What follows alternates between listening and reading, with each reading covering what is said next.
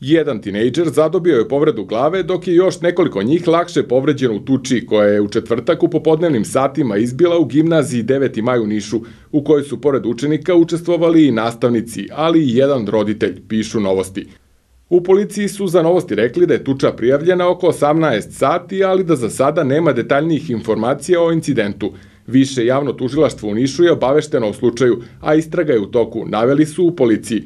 U hitnoj pomoći kažu da je jednom učeniku ukazana pomoć zbog povreda glave. Kako novosti saznaju, tuča se dogodila u trećem razredu gimnazije za vreme petog časa, kada su dva mladića iz trgovinske škole, za koje se sumnja da su bili u alkoholisanom stanju, ušle u kabinet za hemiju, tražeći svog druga kog nisu zatekli u učionici. Tada ih je jedan dečko opsovao, a oni su izašli iz učionice i nakon par minuta su se vratili sa nekim granama i krenuli su da udaraju tog istog momka. U tuču se umešala njegova devojka koju su par navrata šutnuli, ali jedan roditelj koji je vojno lice i jedan domar. Tek su dva profesora i domar uspeli da smire mladiće, ispričao je sagovornik novosti. On dodaje da su odmah došle dve interventne jedinice i hitna pomoć. Direktor gimnazije 9. maj Nebojša Lekić kaže da pretučeni učenik uopšte ne poznaje dvojicu mladića koji su upali na čas.